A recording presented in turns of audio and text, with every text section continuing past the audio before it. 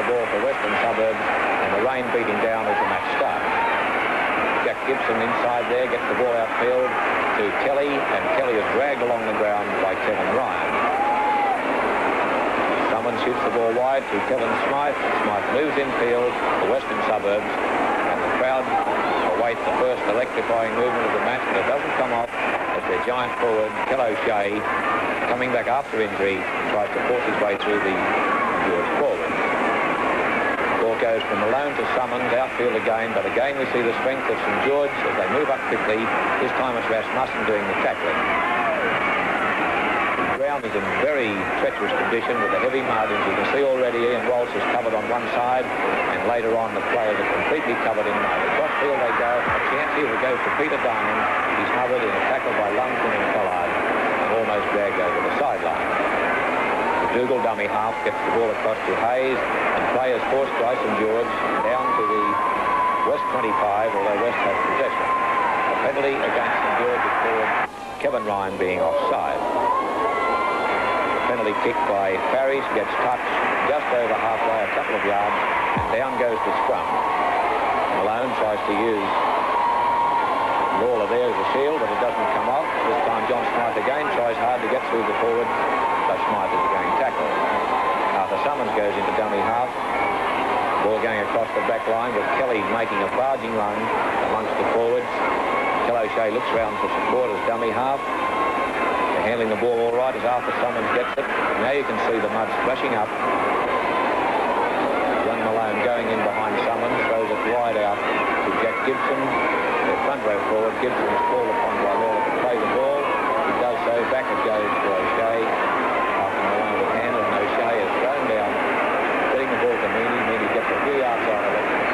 And play is still inside the west area, just a few yards. Summons blind side, kick over the top, and Mowbray flying down the right wing. Catches King in possession of the ball. Now the scrum, no score as yet in the match, and it's won by St George again to Pollard. Out it goes to Gasnier. Gasnier almost lost the ball in the tackle and gets off the play. Down goes Evans, and the lead-up work for this try by Evans as he scored in the right corner towards the Sheraton end. There's Lawler, the referee, on the spot as he ruled the try, and the lead-up work was done by Norm Provan. It's 3-0 as Gasnier tries to the try from touch. There's the kick by Gasnier. It fails, goes to the left, and the score is 3-0 in favour of St George, just on 70,000. We're holding the players apart there as he's calling for the three-yard rule. Ryan senses an opening and goes very hard for the try line, but a great tackle by Parish pulls him down. Ball is played back to Raper. Raper gives it out to Provan, who decides to try and barge over on his own, but he's forced back by the grim defence of Western Southern. Goes back to St George, out a long pass to Pollard. Pollard gives to Gasnier. Gasnier tries to get the ball to King. He does so too, and King is tackled. They're short of the west line now. An attacking position as they go across field. Raper shoots it wide again, down the centre they're going. Pollard trying to force his way through the defence. St George will gain tackle short of the line. Pretty scraggy play there, and it's a penalty here. It looks like Meaney offside. Right in front of the goalpost, and this will give chance to St George to notch a goal. It's Gasnier that takes the kick. And there's the flags are raised. St George now lead five points to nil. Hayes, dummy half, gets it on to Gibson. Gibson on to Meaney, and already you can see the slowing up of the players in this heavy mud, which is very awkward conditions for both sides. 5-0 would win it.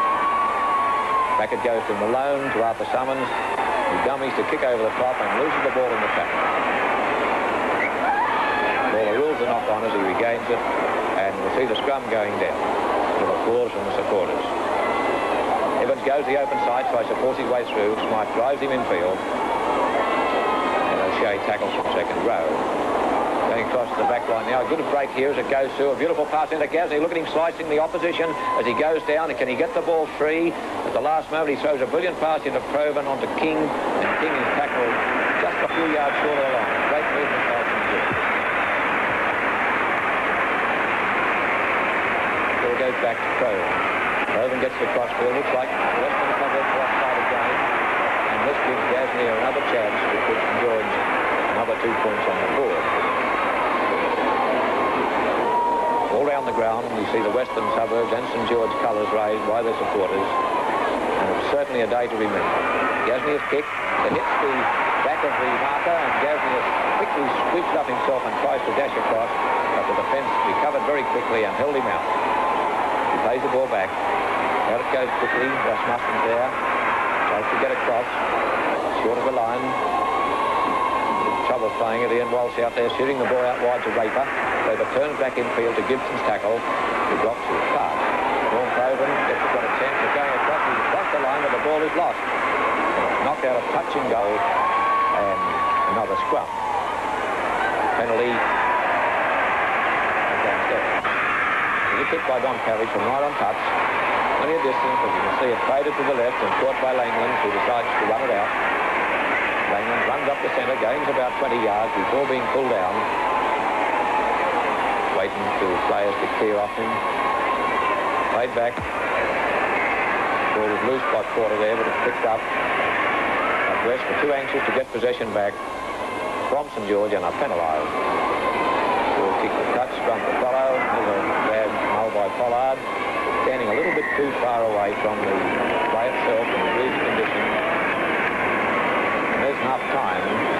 With only 20 minutes play left, and George lead five points to nil.